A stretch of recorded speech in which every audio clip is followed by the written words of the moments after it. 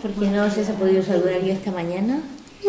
Y bueno, os presento aquí a la hermana Antonella y a la hermana Lucía, que son de Proclesia Santa y están en el convento de las Salesas de Orihuela.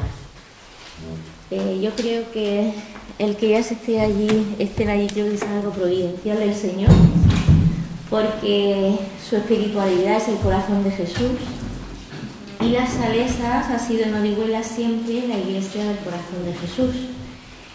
Entonces ha estado cerrada muchos años, pero yo creo que ha sido una bendición del Señor que le hizo nos mande unas mojicas y sean de la espiritualidad del corazón de Jesús, a la iglesia del corazón de Jesús. O sea que, muy bien.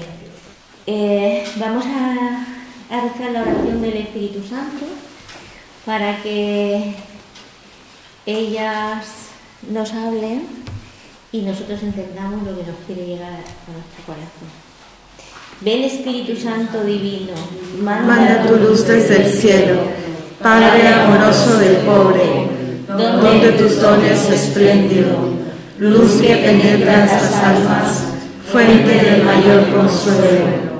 Ven dulce huésped del alma, descanso de nuestro esfuerzo tregua en el duro trabajo, brisa en las horas de fuego, gozo que enjuga las lágrimas y reconforta en los duelos.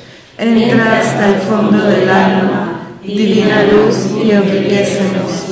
Mira el vacío del hombre si tú le faltas por dentro. Mira el poder del pecado cuando no envías tu aliento. Riega la tierra en sequía sana el corazón enfermo, lava las manchas, infunde el calor de vida en el cielo, doma el espíritu indómito, guía el que tuerce el sendero, reparte tus siete dones según la fe de tus siervos, por tu bondad y tu gracia, dale al esfuerzo su mérito, salva al que busca salvarse y danos tu gozo eterno. Amén. Le doy la palabra a la hermana Antonella, ya que este año es el, es el aniversario de la consagración de España al corazón de Jesús. Bien, buenos días. Como Berna bien dice, bueno, soy la hermana Antonella y hemos llegado a la diócesis de Alicante de manera muy providencial. Por eso eh, no les vamos a contar cómo hemos llegado, porque sería muy, muy, muy largo, ¿no? Pero sí es cierto que el corazón de Jesús ha querido que mm, compartamos y expandamos de alguna manera su espiritualidad, la espiritualidad del corazón de Cristo. Eh, porque contra toda lógica humana llegamos a ese monasterio sin saber que era el monasterio de las Salesas y era el centro del corazón de Jesús de la ciudad, sin saberlo. Y cuatro monjitas llegando a un monasterio así y una de ellas enferma, eh, decir que sí va contra toda lógica, pero lo, lo vimos clarísimo desde el principio.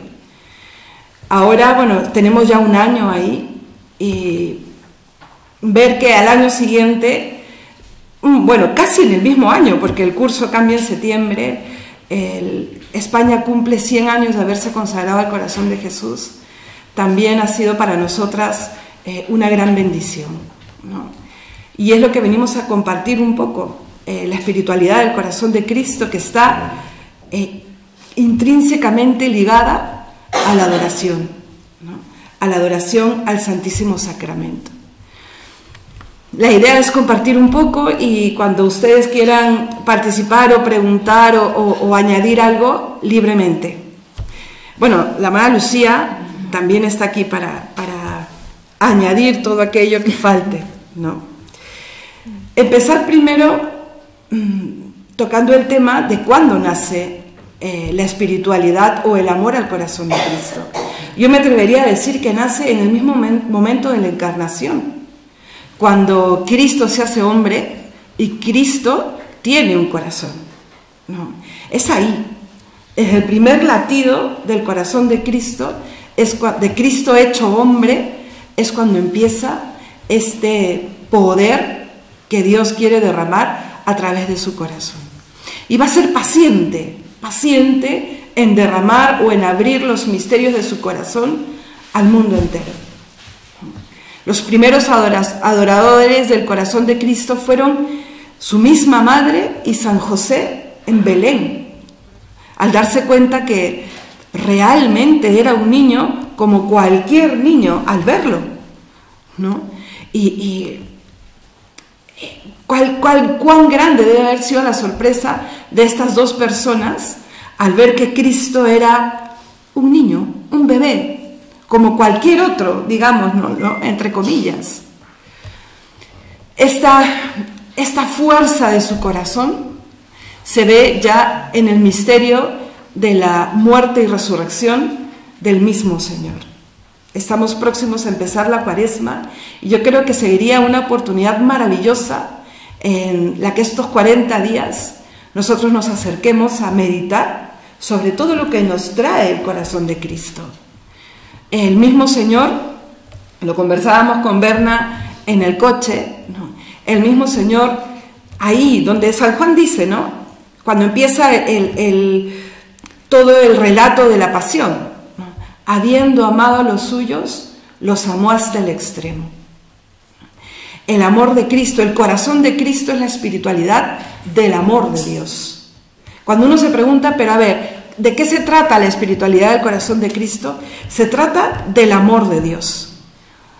Y el amor de Dios, sobre todo, se muestra y se entrega en su pasión, muerte y resurrección. Y miren, es un amor que se entrega primero al hacerse niño, al hacerse hombre, al ser tan paciente que vive los, los 30 años de su vida, o sea, la mayoría de su vida, como un hombre cualquiera, para conocer lo que es la vida aquí, para vivirlo en carne propia, las luchas, eh, las alegrías, en fin.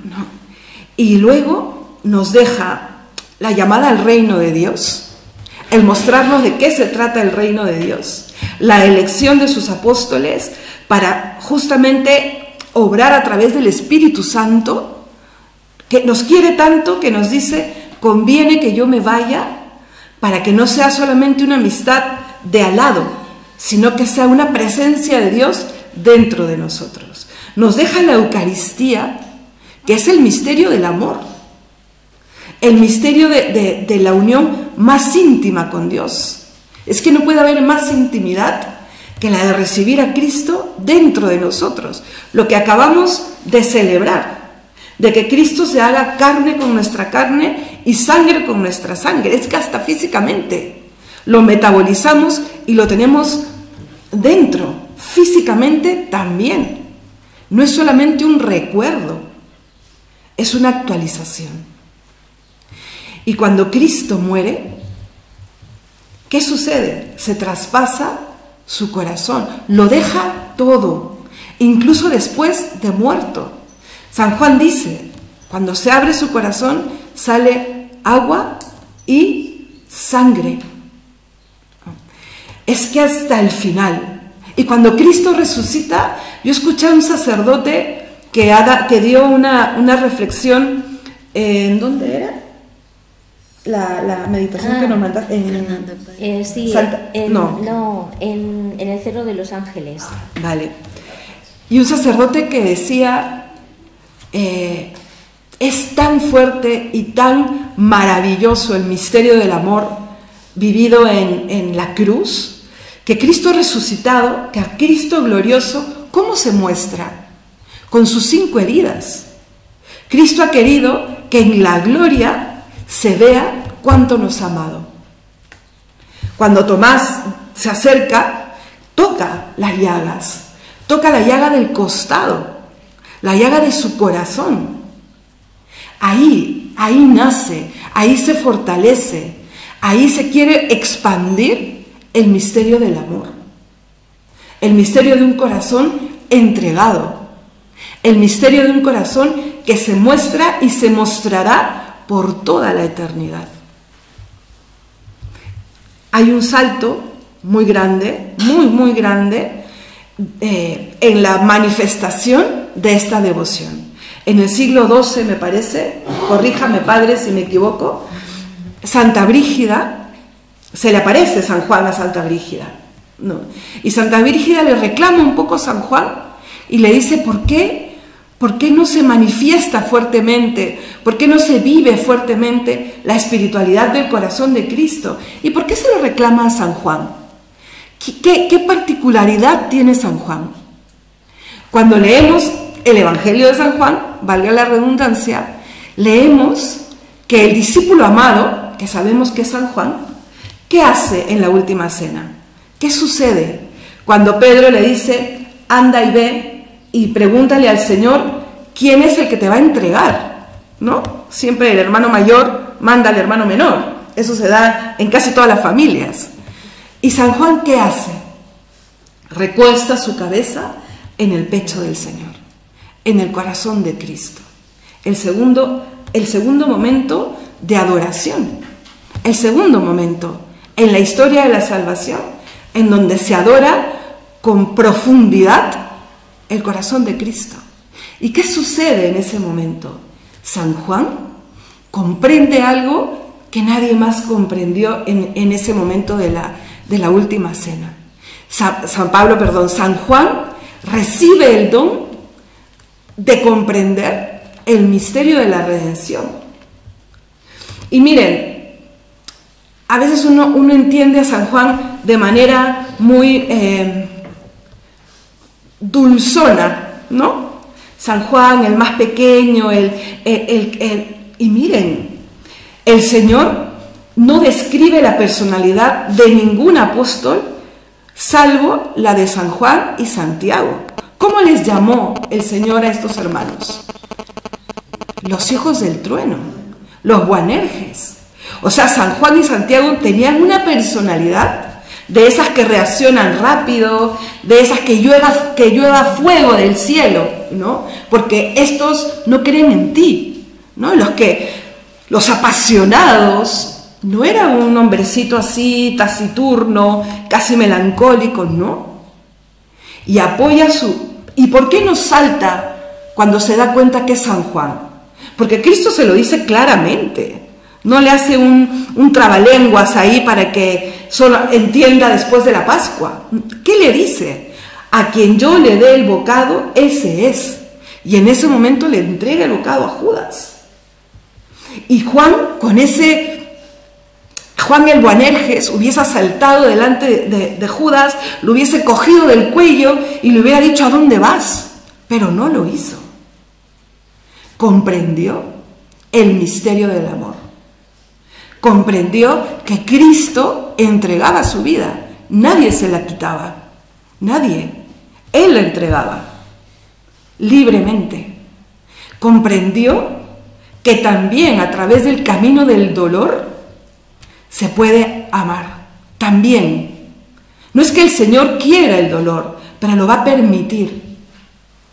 Por eso Solo Juan estará al pie de la cruz, hablando de los apóstoles. Solo Juan, porque se adelantó a comprender este misterio, porque encontró en el corazón de Cristo al reclinarse un latido en donde estaba el corazón hombre que también es Dios. ¿Qué cosa habrá entendido? ¿Qué cosa habrá oído? ¿Qué cosa habrá experimentado? Lo que Cristo quiere que experimentemos de alguna forma nosotros también. Al acercarnos al corazón de Cristo hecho carne.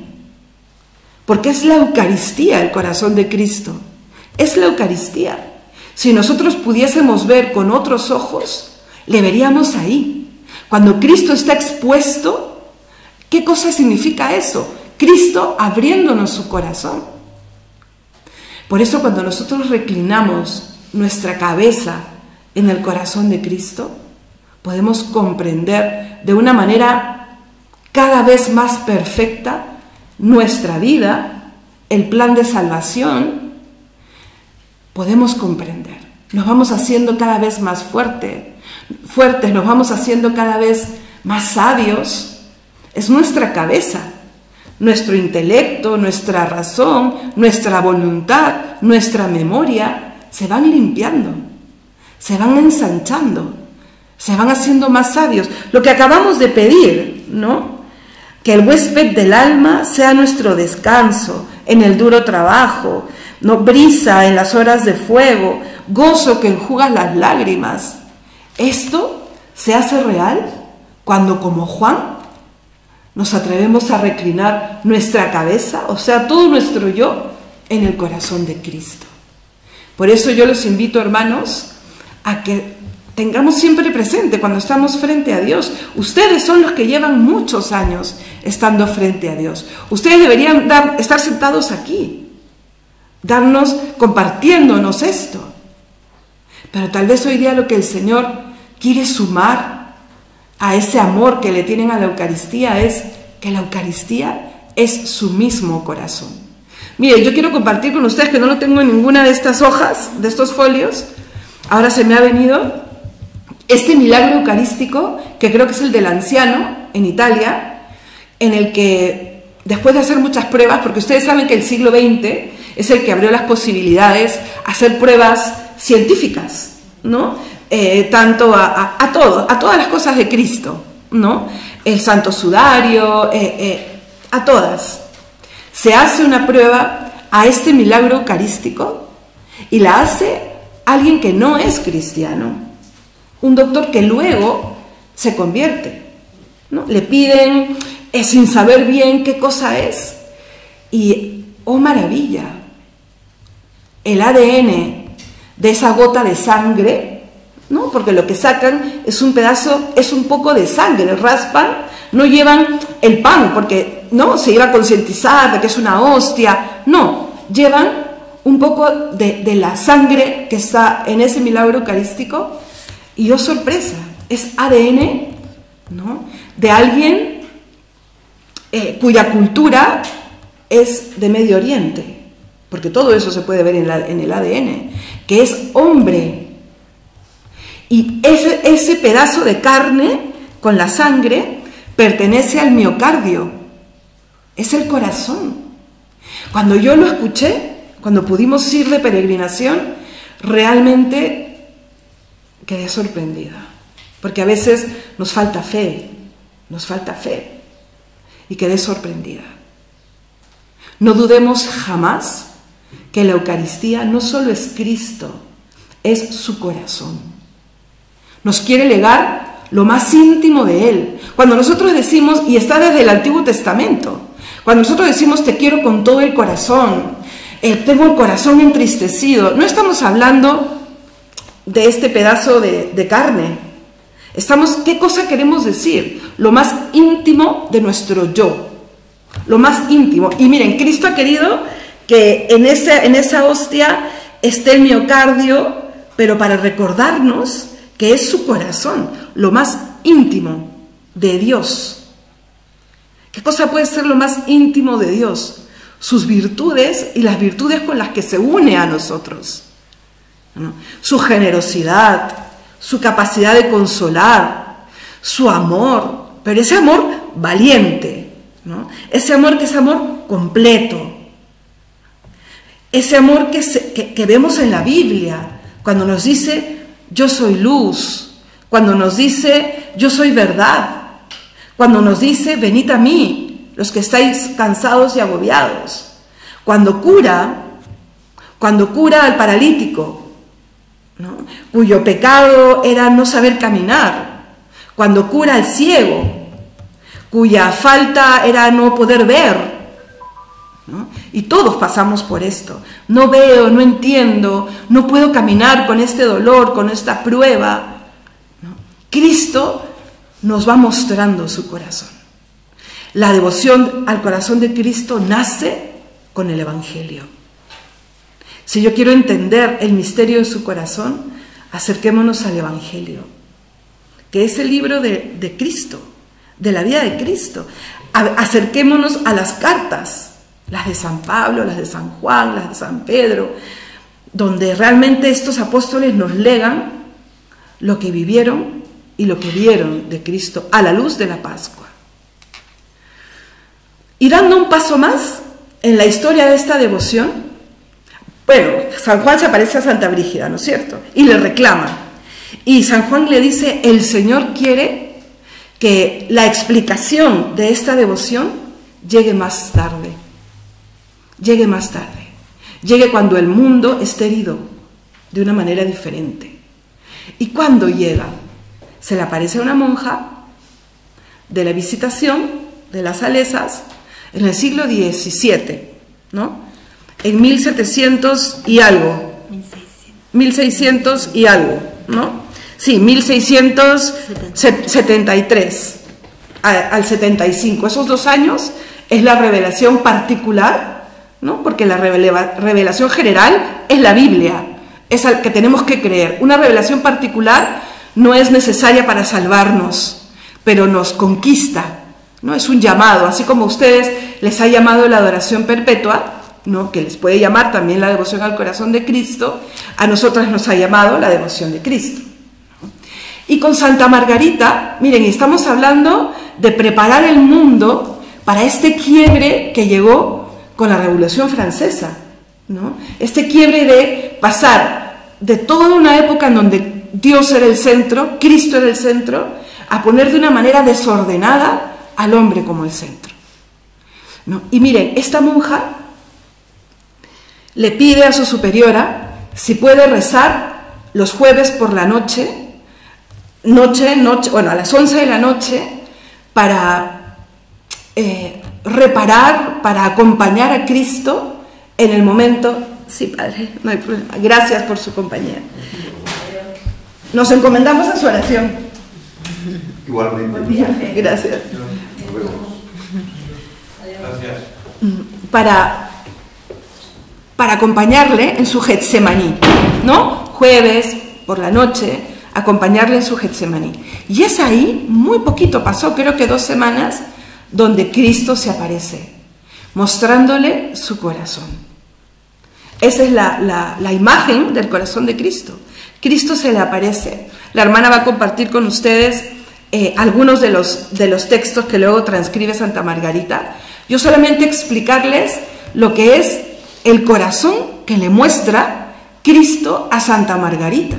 Cuando ustedes vean una estampa del corazón de Cristo, ténganla por ahí, un detente, y quieran eh, meditar sobre el amor de Dios, o no solo meditar, cuando les haga falta, cuando quieran buscar ese consuelo, porque todos necesitamos, o todos los días o en algún momento, cuando queramos rezar de una manera más profunda, miremos, miremos de qué se trata esta devoción al corazón de Cristo, este misterio de su redención.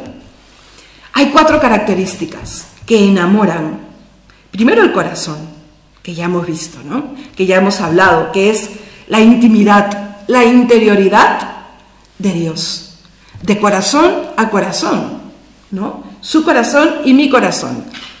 Cuando le dices a tu esposo o a tu hijo, te amo con todo mi corazón, no es que tú le dices te amo con, con este músculo, ¿no? Que late. No, te amo con todo lo que yo soy. Cristo igual.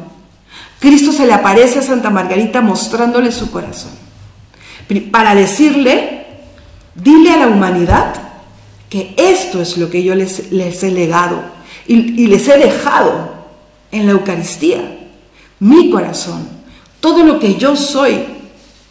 La segunda característica que vemos, ¿se acuerdan cuál puede ser? ¿Alguna característica se acuerdan? ¿Perdón? La corona. Corona de espinas está alrededor del corazón de Cristo, recordando que está herido, que está subyugado. ¿Y eso, ¿Y eso a qué lleva? A lo propio de la devoción al corazón de Cristo. Amar, como vimos en el corazón, y reparar. Ya luego diremos bien, después de que la hermana lea, lo que es realmente reparar porque es un corazón herido. Cuando a él le ponen la corona de espinas, se burlan de él, ¿no es cierto? Porque él es rey. Nosotros reconocemos que Cristo es el rey. Cristo es el rey del mundo. Y queremos coronarle de otra manera. Por eso reparamos. La tercera, eh, eh, lo tercero que podemos encontrar es la cruz. Cristo nos dice, no hay camino para el cristiano que no sea el camino de la cruz. Pero tu cruz no está vacía. Nuestra cruz, nosotros podemos decir, mi cruz es mi carácter, mi cruz es eh, mi esposo, mi esposa, mi cruz es la enfermedad de un hijo, mi cruz es, no sé, una enfermedad propia, pero en nuestra cruz está Cristo. Nunca está vacía, nunca. Por eso es distinto. Él ya llevó mi cruz. Él quiere que seamos su sireneo, pero termina siendo finalmente Él nuestro sireneo. Él. Y por último, la llaga. La llaga, maravillosa llaga. Está herido de amor. Herido de amor. Y con esa llaga nos dice, yo te he entregado todo, no solamente mi vida y mi muerte, te he entregado lo que sigue a mi muerte.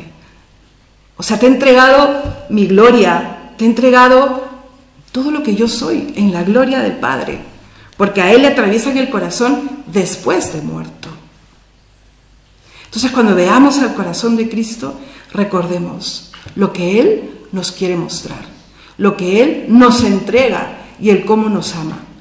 Mirad este corazón que tanto os ama. Ya la hermana les va a leer.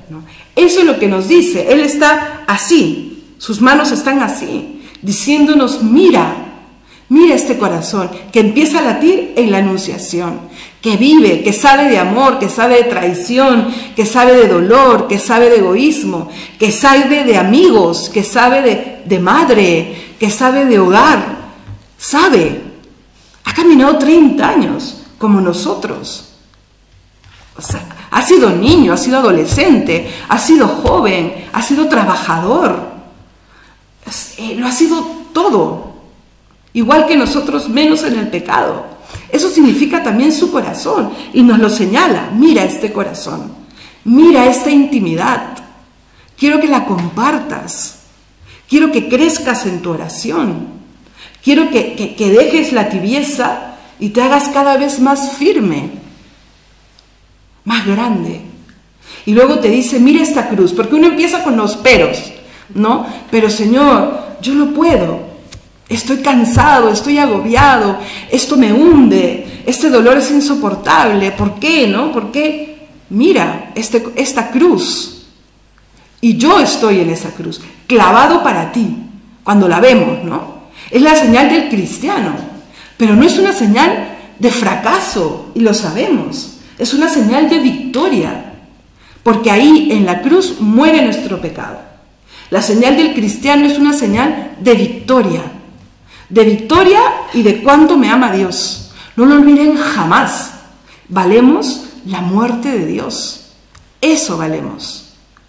Luego está, a me había olvidado, el fuego. El fuego, que es pasión. Así nos ama, con pasión, con entrega, lo hace todo por nosotros. Sale en nuestra búsqueda. Nunca va a violentar nuestra libertad. Jamás. Pero lo hace todo. Toca mil puertas. Nos ama con pasión. Está la corona de espinas, que es un corazón herido por los pecados del mundo. Herido. Ese, Cristo que tenía sed en la cruz. Sed de almas. Y esas almas que le herimos y luego la llaga. La llaga que nos grita que nos lo ha dado todo. Todo. Entonces no lo olvidemos jamás. Y esta devoción tiene promesas, tiene prácticas y tiene, ¿qué más? Promesas, prácticas. Bueno, ya se lo va a explicar mejor la hermana, porque Cristo, así es Él. Sí, pero ¿de verdad lo cumple? De verdad lo cumple. No, se lo voy a jurar por Dios, pero casi, casi. Lo he visto en muchos, sobre todo la gran promesa, la número 12, ¿no? Uno lo experimenta de muchas maneras y uno dice, ¿por qué eres tan generoso? Que finalmente es lo que también Dios nos regala a través de la vida del Evangelio. Pero claro, 16 años después de su muerte y resurrección, se aparece para recordarlo y, le dice a Santa Margarita, por favor, recuérdalo. Pobre Santa Margarita, porque después de las apariciones, durante las apariciones, ¿qué le dice? Y sé tú la que le transmita al mundo esto que te estoy diciendo. Una monja sencilla, eh, de clausura, ¿cómo lo iba a hacer? Si ella no salía. Ahí viene la confianza en Dios. Ahí viene que realmente ella crea todo lo que Cristo le ha dicho. Y claro, la historia continúa. Pero voy a dejarlas con la hermana Lucía, ¿no? que es la que conoce muy bien la vida de Santa Margarita, para que les cuente algo de lo que Cristo le dijo al Señor. Uy, ¿cómo pasa esto? Sí. Buenos días. Es la pequeña de la casa. Gracias. Sí, yo, así como Santa Margarita, ah. quería compartir con ustedes, o sea, a ver, les voy a explicar bien, ¿no? Así como Santa Margarita, quería compartir con ustedes algo que ella le dijo al corazón de Jesús cuando se le presentó, ¿no? Fue algo que yo justo le decía a la hermana Antonella, esta parte, claro, te interpela y te hace confiar en el Señor, ¿no?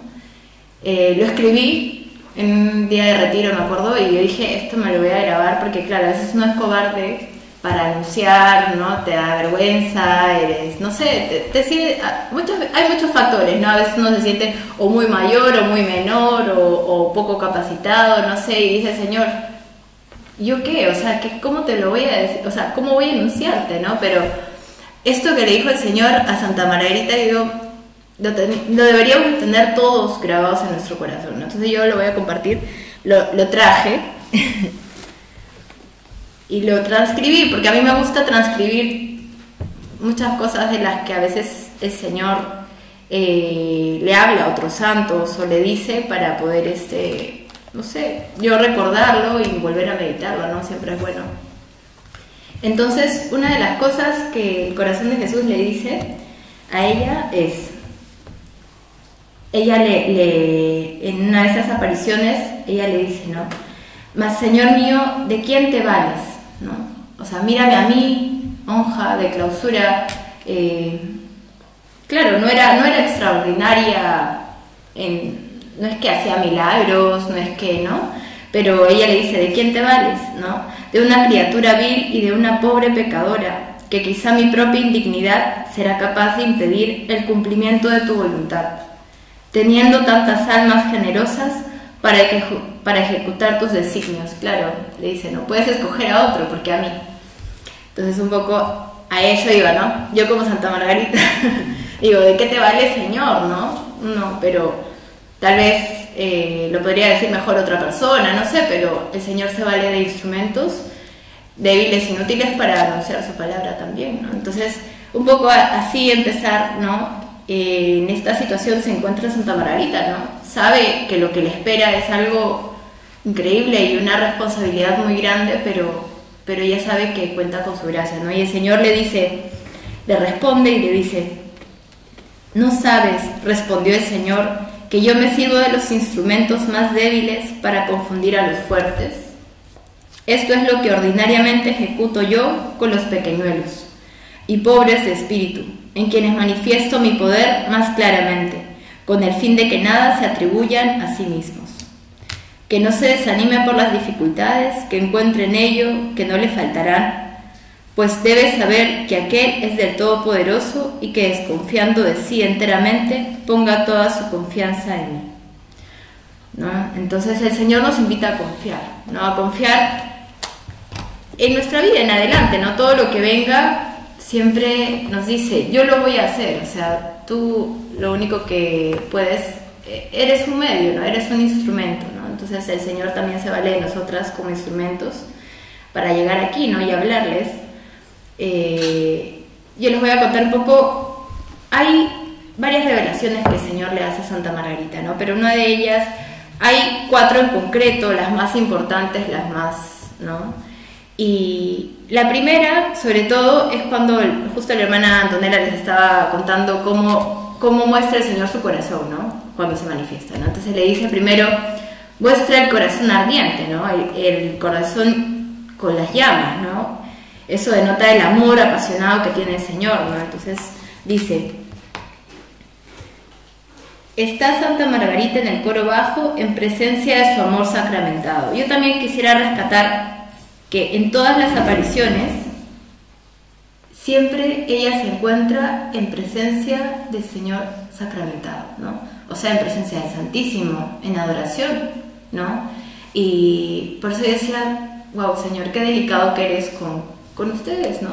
Que se vale también de esto para decirles, ¿no? Que el Señor puede manifestarse muchas veces. ¿Cuántas veces estamos atentos para escucharlo, ¿no? A Santa Margarita se le manifestó en esos momentos, ¿no? Estando en presencia de Jesús sacramentado. Todas las apariciones cuentan eso, ¿no? En otro lugar será estando, no sé, a los pastores se le apareció la Virgen en una gruta, ¿no? Pero aquí a Santa Margarita en concreto, el corazón de Jesús, se le aparece estando en presencia de Jesús sacramentado, ¿no? Entonces, ahí cada uno piense, ¿no? Y diga, Señor, ¿cuánto te estoy escuchando, ¿no? Tal vez el Señor se, se quiere revelar, pero ¿cuántos somos, cuántos estamos atentos a Él. Entonces dice, mi divino corazón le dice, Está tan apasionado de amor a los hombres, en particular hacia ti, que no pudiendo contener en él las llamas de su ardiente caridad, es menester que las derrame, valiéndose, valiéndome de ti, y se manifieste a ellos para enriquecerlos con los preciosos dones que te estoy descubriendo. Luego le pide enseguida su corazón y le introduce en el suyo, en el que no, en el que me lo hizo ver como un átomo que se consumía en aquella ardiente hoguera. Se convierte a su contacto en llama encendida, lo saca y se lo vuelve a colocar en su pecho como una llama ardiente en forma de corazón. Este fuego le producirá toda su vida un violento dolor de costado, garantía de la verdad de la aparición. Durante muchos días queda Margarita como embriagada y toda abrazada de amor. En esta primera aparición, el corazón se muestra verdaderamente a un enamorado, ¿no? Y manifiesta su amor hacia nosotros, ¿no? En la segunda revelación, que fue al año siguiente, en 1674, dice, se manifiesta rodeado de corona de espinas y una cruz, ¿no? El divino corazón se me presentó en un trono de llamas, más esplendoroso que el sol y transparente como el cristal, con la llaga adorable rodeado con una corona de espinas, significando las punzadas producidas por nuestros pecados, y una cruz en su parte superior.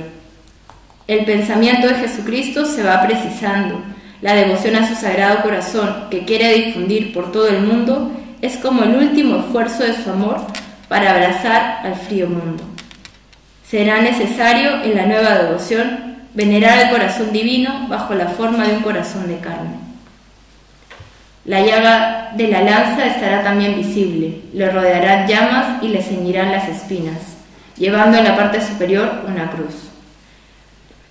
Yo me quedo sobre todo con esa necesidad del Señor de manifestar que está dolido, ¿no? Con las coronas de espinas rodeadas, con la lanza atravesada en el corazón, ¿no?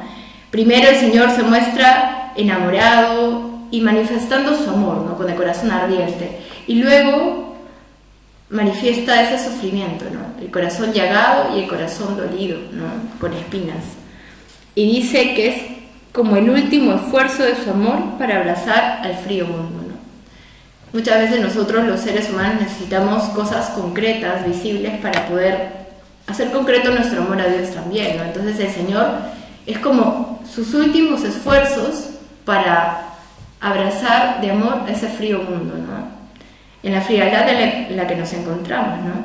Entonces, la primera nos ama, nos manifiesta su amor y la segunda aparición se muestra necesitada, ¿no? Y la tercera, ya para terminar, eh, dice, una vez, entre otras, que se hallaba expuesto el Santísimo Sacramento, Después de sentirme retirada en mi interior por un recogimiento extraordinario de todos mis sentidos y potencias, se presentó delante de mí todo resplandeciente de gloria con sus cinco llagas brillantes, como cinco soles y despidiendo de su sagrada humanidad rayos de luz de todas partes, pero sobre todo de su adorable pecho, que parecía un horno encendido y habiéndose abierto me descubrió su amante y amable corazón. Entonces me explicó las inexplicables maravillas de su puro amor, hasta qué exceso, hasta qué exceso había llegado su amor, para que con los hombres, de quienes no recibía sino ingratitudes. En esta parte, sobre todo, el Señor muestra aquellas ingratitudes que recibía él y la tristeza de su corazón, ¿no? Le pide que ella un poco haga frente a esas ingratitudes que recibió desde que estuvo en la última cena con sus apóstoles cuando se retiró a orar y les pedía que lo acompañen, pues se quedaron dormidos, ¿no? Entonces, claro, él dice cuánta ingratitud hay, ¿no? Se manifiesta como quejándose, ¿no? No exigiendo nada, sino quejándose, ¿no? Entonces, estas tres revelaciones yo se las cuento y se las... No quería contárselas así por mis propios labios, sino leerlas, porque pienso que es algo importante que ustedes también puedan meditarlo, ¿no? Y puedan saber esta dinámica que el Señor usa con nosotros, ¿no? Primero manifestar su amor, luego mostrarse dolido y luego simplemente quejándose, ¿no? Quejándose por nuestra ingratitud, ¿no? Y sobre todo de aquellos que me siguen más de cerca, ¿no?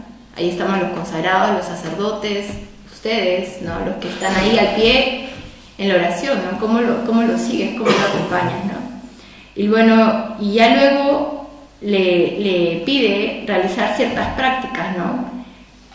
¿Usted les cuenta las prácticas? Eh, la- no, las promesas.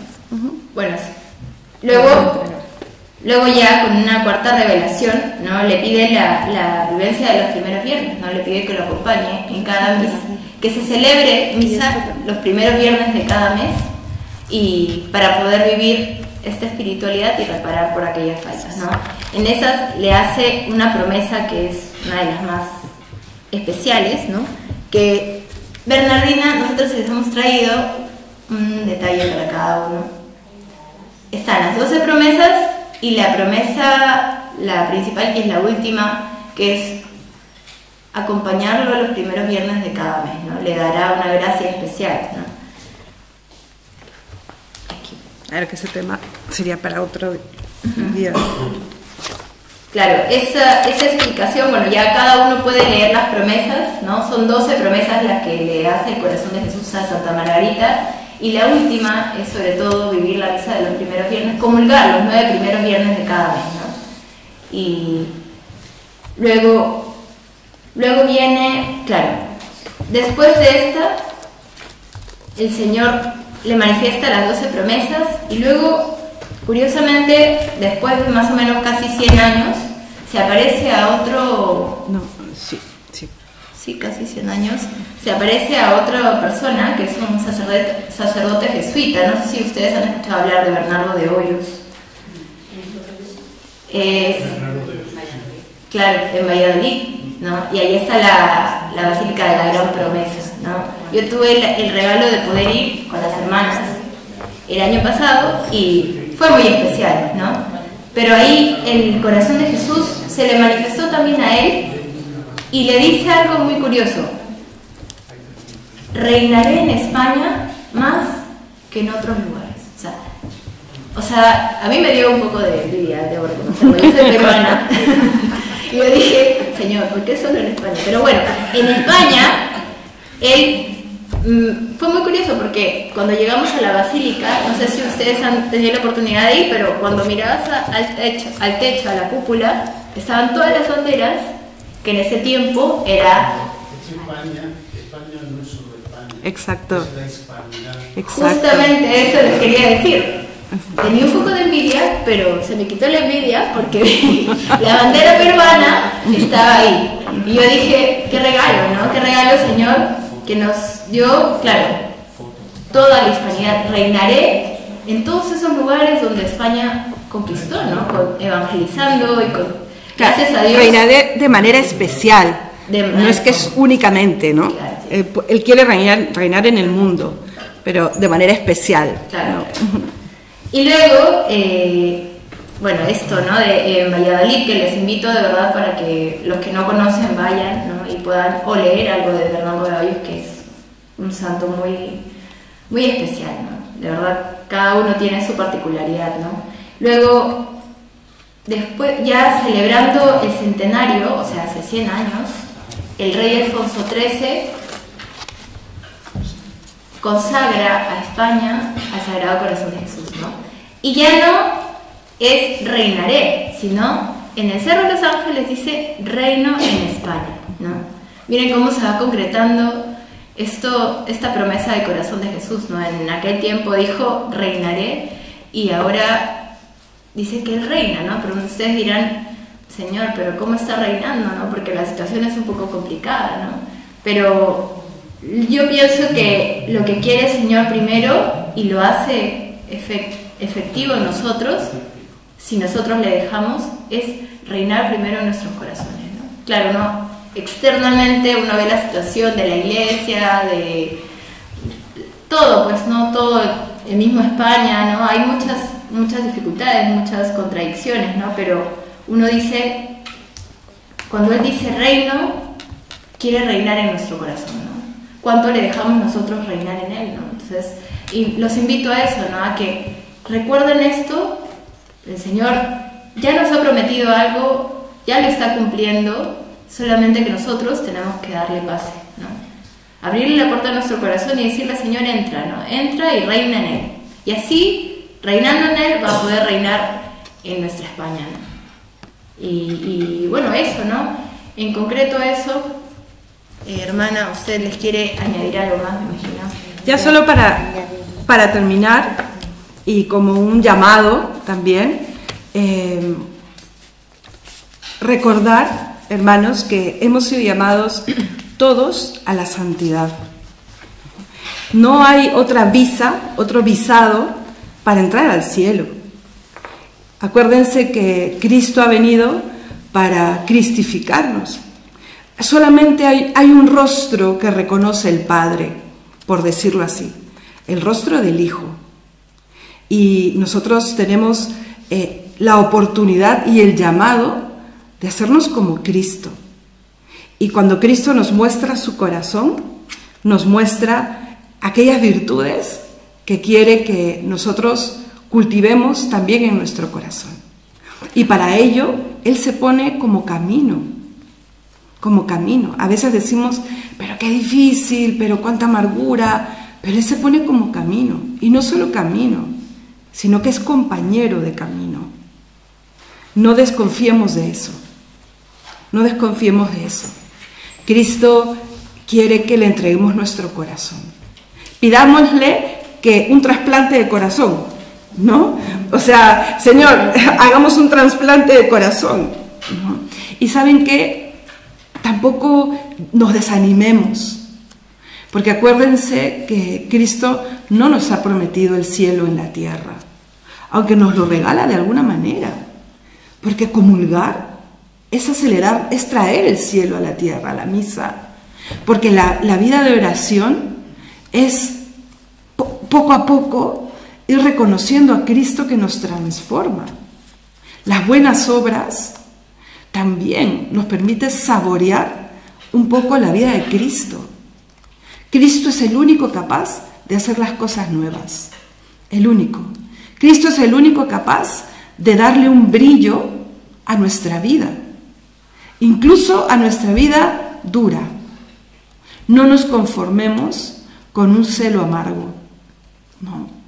No nos conformemos con un, un celo que, bueno, no me queda otra, ¿no? O dudar ¿Cómo le hablo a esta persona de Dios si, uy, ¿qué ha dicho Cristo? Que reinará. Nos ha acercado su reino. Y Cristo en la cruz tiene sed de almas.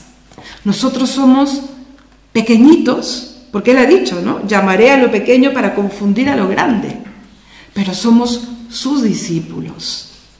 No nos conformemos con cuatro, cinco, seis no tengamos miedo. El alma tiene sed de Dios. Pero claro, usemos herramientas. Él nos dice, ¿no? Seamos audaces, astutos como la serpiente. y mansos como la paloma. No nos dice seamos bobos, ¿no? Seamos mensos, nos dice seamos mansos, pero no mensos, ¿no? O sea, Él quiere que en el siglo XXI eh, le hablemos a la gente como del siglo XXI, pero con la confianza. Todos tenemos sed de Dios. No es que los jóvenes no, los niños, todos. Y todos seremos felices solo con Cristo. No hay otra manera. Y si nosotros queremos un mundo diferente, familias diferentes, hijos diferentes, no tengamos miedo. No tengamos miedo. ¿Y quién es la primera discípula de Cristo? ¿Quién? Su madre. Y ahí me sorprendió mucho una de las charlas que nos mandó eh, Berna, ¿no? Eh, cuando habla de qué significa la palabra Miriam, María. Y lo voy a leer para que sea exacto. Significa mar de amargura. Qué increíble, ¿no?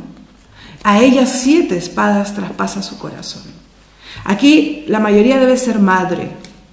Vio morir a su hijo. Lo vio con el corazón traspasado. Y recibe del hijo una misión que no sé si seríamos capaces de recibir.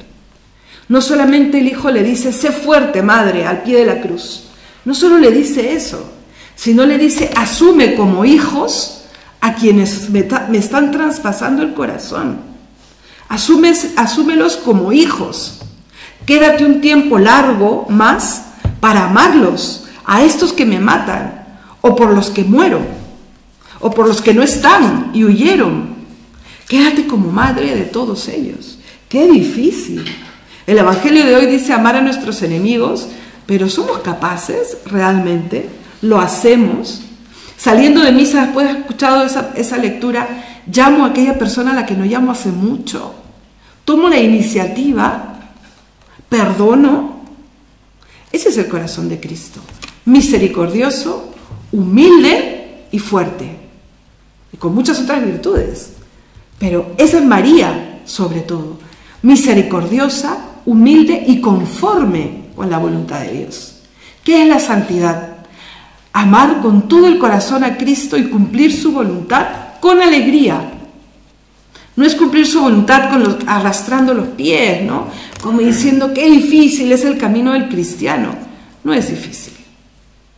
Porque está Él. Camina por el sendero de Cristo y con Cristo. Comulga sabiendo que es el pan de los fuertes. Y, ustedes que cada semana están frente a Él, sería, debería ser cada día, adorándole, todos los días, en, sus casas y el día que les toca frente al Santísimo. Pero estando ahí, transformarse, dejarse transformar. ¿Saben cómo se acrecienta la gracia? Hay dos sacramentos que tenemos ahí para usarlos todos los días. La confesión y la Eucaristía. Así se aumenta la gracia. Segundo, la oración. Suplicarle, empezar eh, eh, invocando al Espíritu Santo. Como decía Santa Teresa, hablar de amores con quien sé que me ama. Esa es la oración. Y tercero, las buenas obras. Las buenas obras. Y esas que uno hace sin que mi mano derecha se entere lo de la mano izquierda, ¿no? Las buenas obras. Tres maneras de acrecentar la gracia. Y la gracia es aquella que me hace como Cristo. Hermanos, como les decía, para, para terminar, pídanle a Cristo un trasplante de corazón. Tener el corazón de Cristo, sin dejar de ser ustedes mismos. Sabiendo que, como dice, mire, el Antiguo Testamento, ¿no? Transforma mi corazón de piedra en un corazón de carne. Y Él lo hace.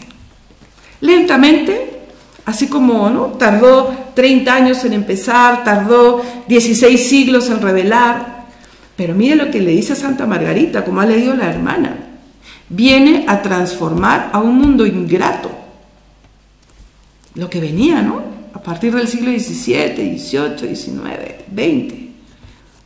O sea, las, los pecados impensables, el abandono de Cristo ¿no? O sea, se puede.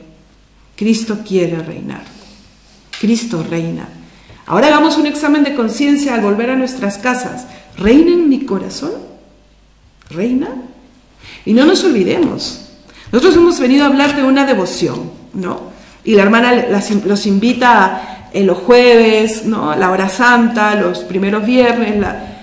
O sea, eso es una, esa es una devoción particular, no esencial. Pero lo que sí es esencial es el amor al corazón de Cristo.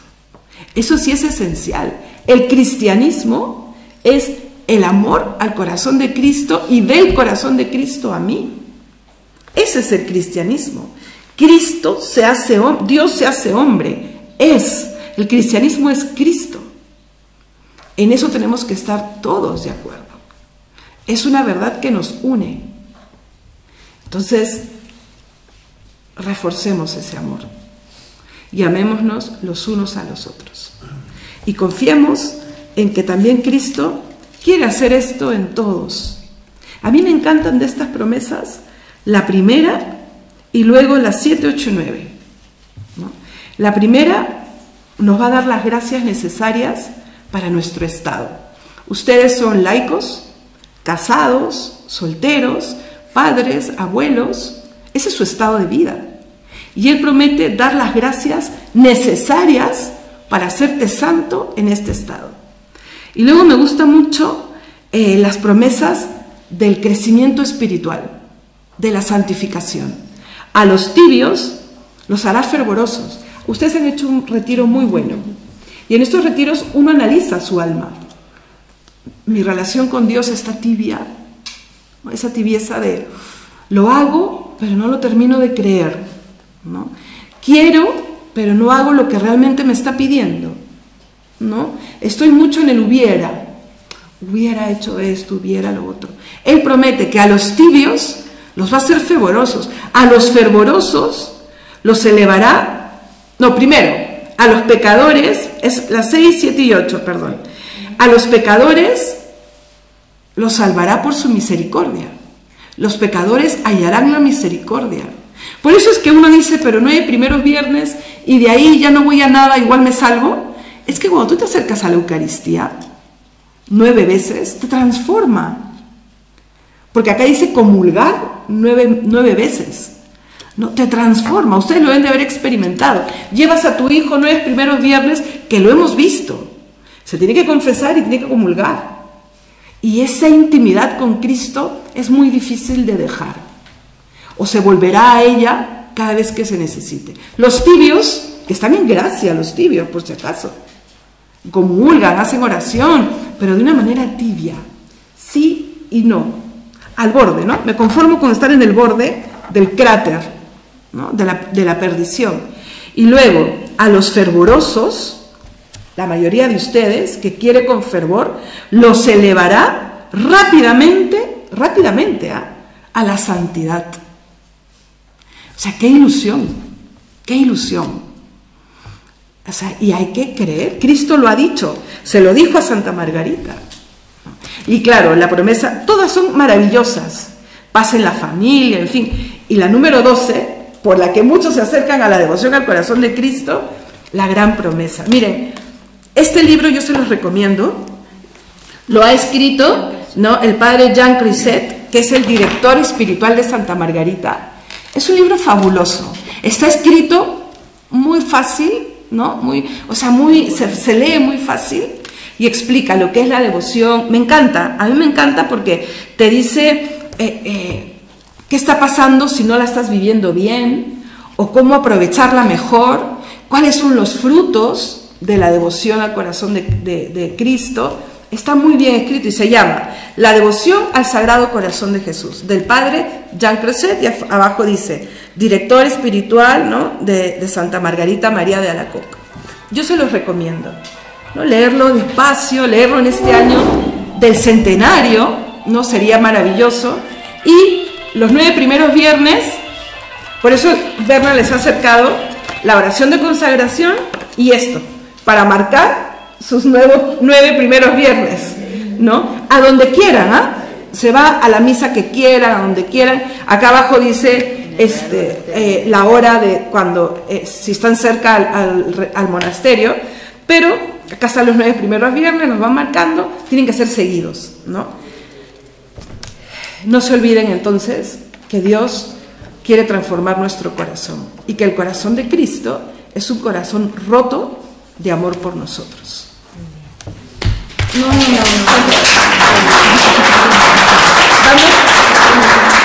Vamos, a terminar. Eh, antes de, hacer la oración de consagración al corazón de Jesús, ¿alguien quiere hacer alguna pregunta? Ah, sí, claro. Yo os voy a hacer una pequeña reflexión de, tanto de las charlas como de ayer como de ellas de hoy eh, sobre la Eucaristía y el corazón de Jesús, que me ha venido así un poquito. Entonces, ¿os habéis dado cuenta que ha dicho no perder la esperanza? Muchas veces decimos, ¿y qué hago yo aquí ya? Si ya soy mayor, si ya esto, si ya lo otro pues encendamos ese fuego de amor de ese corazón que está ahí, que todos habéis latido ese corazón, porque cuando estamos en esta eh, espiritualidad, eh, prácticamente es porque nos ha ardido el corazón delante de Él. Que nos vuelva a arder ese corazón cuando estamos delante de Él. A mí me ha pasado alguna vez que estoy delante del Señor y mi corazón parece un caballo de bogado que se quiere salir directo, ¿no? pues reavivamos, porque además Él te está diciendo, mira mi corazón, que estoy aquí, mira mi corazón. Miremos ese corazón que tenemos ahí delante y, y como decían ayer, nosotros representamos a toda la humanidad. No pidamos solo por nosotros, por nuestros amigos, por la gente cercana. Reparemos ese corazón, consolemos ese corazón y le enseñamos el nuestro y le digamos, mira todo lo que llevo dentro, lo bueno, lo malo, las personas buenas, las personas malas, todo te lo entrego para pedirle a Dios Padre la conversión del mundo entero. Y se puede hacer, se puede hacer porque Él es el que mejor lo imposible lo hace posible y nosotros que somos pequeñitos pues somos un granito ahí de, ese consuelo y ese mírame, mírame y yo te miraré. Que a veces dices tú, eh, si yo lo miro y no lo veo, pero mm, como decía un sacerdote que leí una vez en una charla, decía, eh, pues si, si, el Señor no se te aparece, aparecele tú a Él.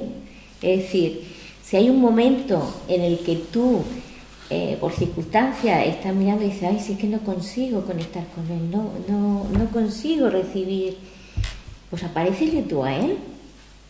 Igual que él te está mirando, aparecele tú a él. En cuanto tú le aparezcas a él y le abras ese corazón, lo vas a ver, porque él te está mirando. Y él nos lava, como cuando echas un capazo a un pozo, ¿no? Tú echas un capazo a un pozo y lo quieres subir con agua y cuando llega arriba el capazo está vacío.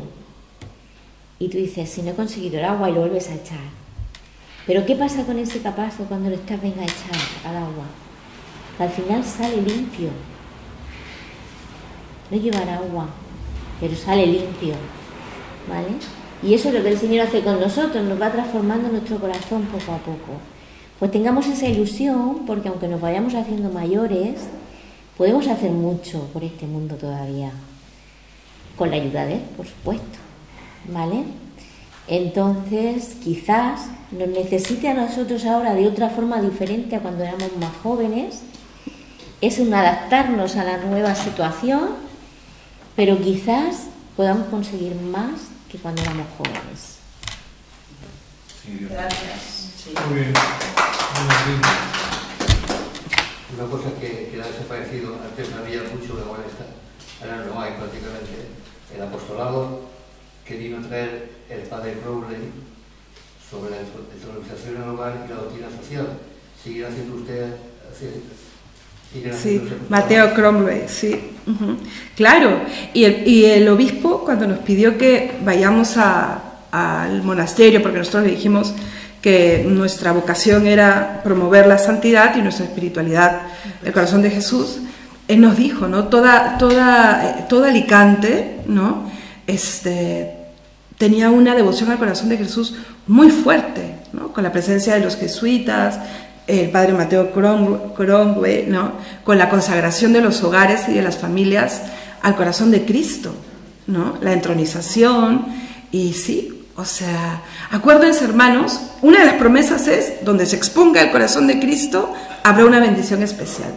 Y miren, es una catequesis, ¿no?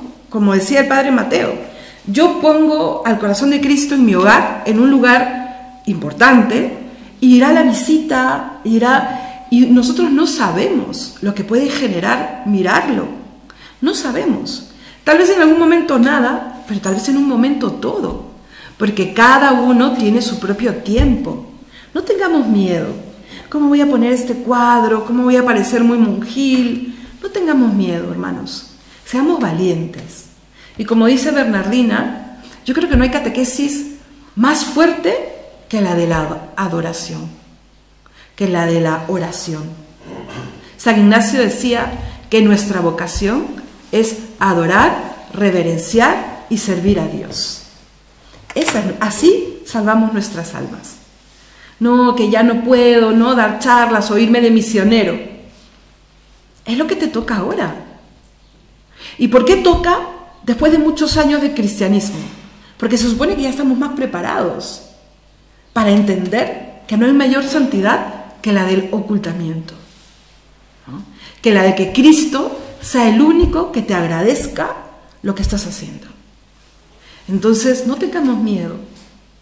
Y bueno, y justo hablando de lo que usted dice, eh, la hermana les va a entregar, o sea, les queda lejos, ¿no? Pero en, en Orihuela estamos empezando los talleres, igual que el año pasado, para las familias que se quieran consagrar al corazón de Jesús. ¿No? Está en Orihuela, pero bueno. Y después de, la, después de la preparación, porque tiene que haber una preparación, donde se toca un poco más los temas que hemos tocado rápido, la hora santa, el, primer viernes, en fin. Eh, la idea es el día de la fiesta del corazón de Jesús o el día de Cristo Rey, consagrarse. Y luego que un sacerdote amigo o una hermana vaya a casa y sea testigo de la entronización, porque realmente es una ceremonia en la que la familia recibe al corazón de Cristo. ¡Ay, sí! Y Berma, Berma. Sí, además nos dieron también un, cuadro del corazón de Jesús. Yo me lo he puesto en el pasillo y cada vez que paso para y para acá y lo veo así con el corazón digo, gracias, bonito. Claro, que te, te, dice siempre, ¿no? Todos los días, ven a mí, venid a mí, ¿no?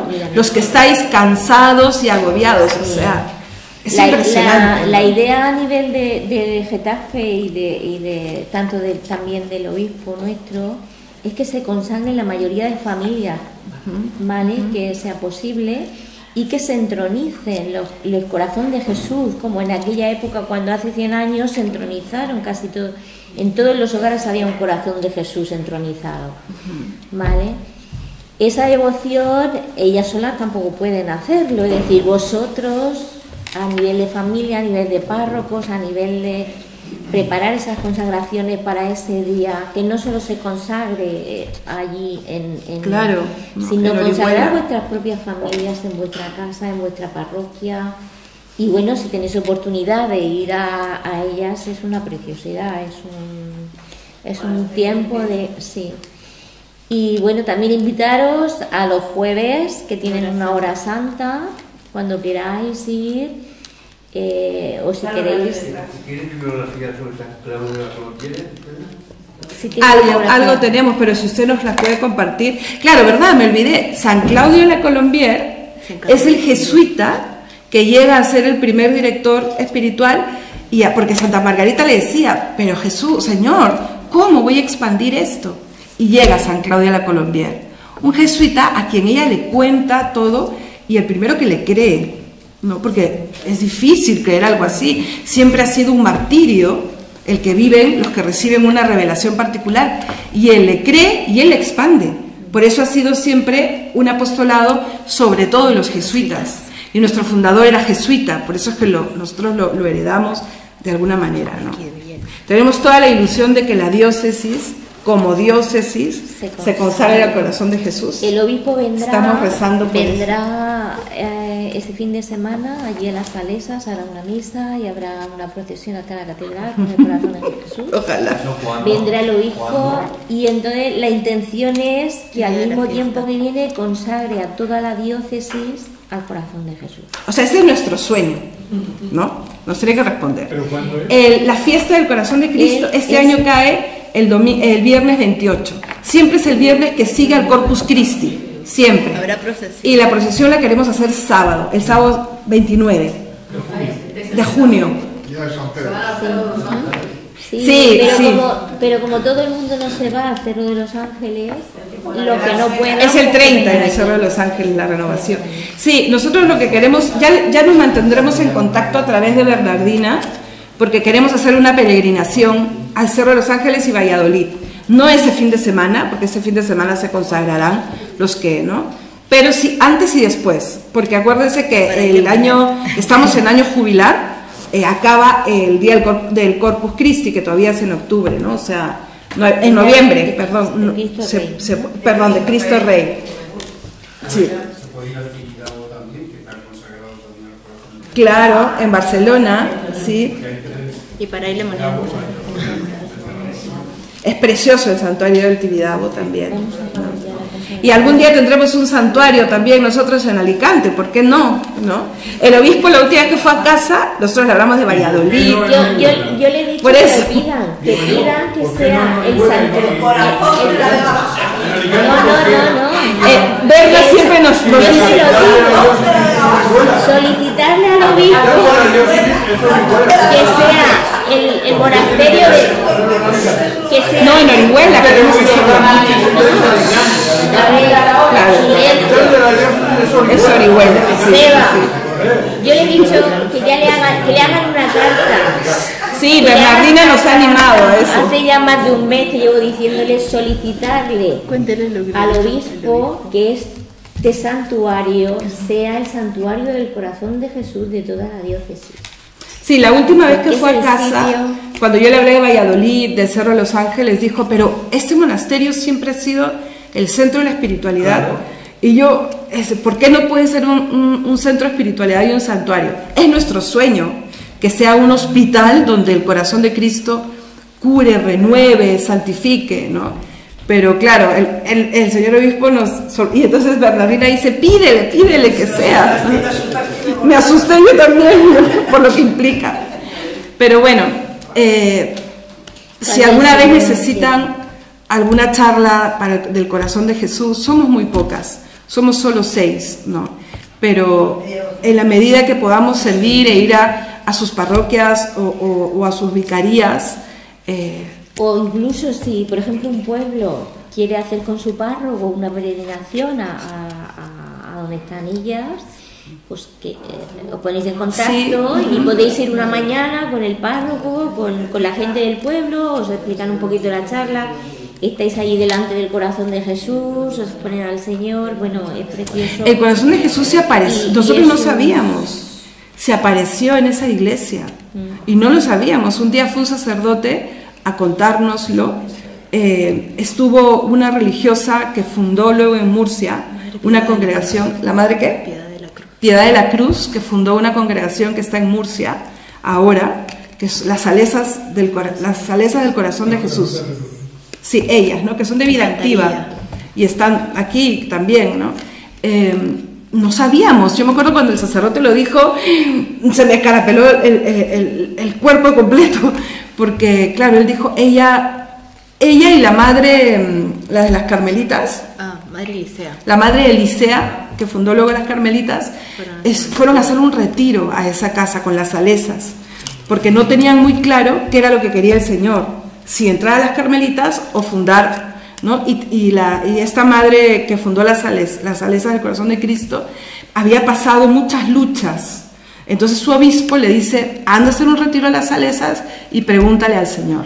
Y en un momento de oración el corazón de Jesús se le aparece y le dice que funde esta obra apostólica no, no, no contemplativa que sirva también al corazón de Cristo. Entonces, y de verdad es un lugar muy especial. Yo creo que han habido muchas salesas santas que han impregnado esas paredes de santidad, no, porque son ellas realmente, ¿no? Cuando entréis, cuando los que no tenéis oportunidad de conocerlas, si podéis ir de verdad con vuestros veréis como Grupos, entrar allí se sí. nota algo, hay una sensación especial. Pero bueno, queremos terminar. ¿Alguna otra pregunta? No. No. Queremos terminar rezando la oración que tienen ahí, que es una con- consagración al corazón de Jesús. Todas la tienen, ¿no es cierto? ¿Podemos empezar? Sí. Reina del cielo, mi dulce Madre María, yo, aunque débil e indigno, pero animado por la amorosa invitación del Sagrado Corazón de Jesús, deseo consagrarme enteramente a Él. Deseo ofrecerle todo a través de tu inmaculado corazón y con una confianza de niño en tus cuidados, espero me ayudes a cumplir con mi propósito.